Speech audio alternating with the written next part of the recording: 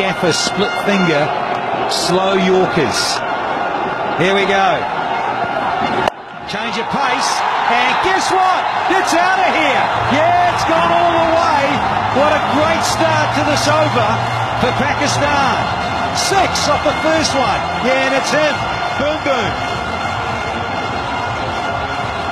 The length was perfect. Afridi was going all the while because it's this over that will decide it. In the last over, it was all quicker ones. Miss Haq used the pace. Important. Dilhara Fernando needs to forget what happened in the last over and forget this ball. Take a deep breath. One good delivery. That's all he needs to produce.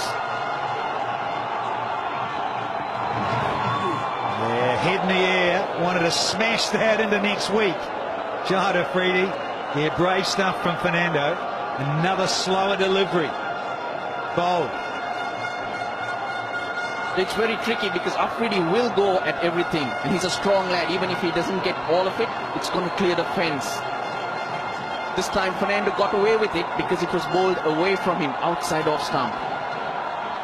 Afridi all the while going down the ground or towards mid-wicket. Getting to fetch it. Dilshan was having a bit of a chat there.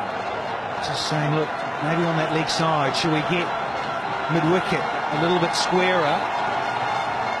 Or do you want him a little bit straighter? He's just signalling that now. Dilhara Fernando is just signalling that he wants his man a bit further. Just having that discussion with the captain and bowler. Captain is behind point. It is very noisy.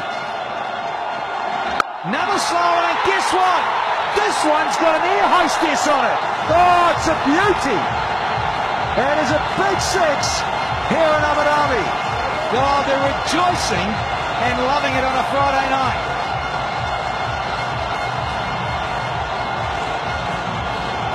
Bowled much straighter to him, much closer in his arc. Both sixers in that same line. Dilhara Fernando getting that line wrong. He's got to do what the Pakistanis did. Go for the block hole.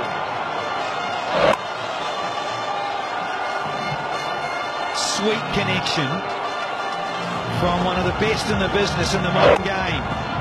Opens the arc, clears the front hip, and swings with superb timing. Needs the Yorker. That is what the discussion.